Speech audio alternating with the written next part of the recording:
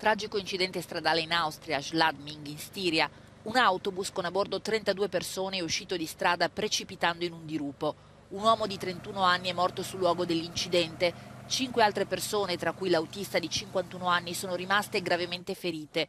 L'autobus viaggiava dalla Bassa Baviera in Germania in direzione di Schladming, quando, secondo una prima ricostruzione, l'autista avrebbe perso il controllo del mezzo, che si è ribaltato più volte finendo la sua corsa ai piedi di una scarpata sul tetto piatto di un edificio aziendale.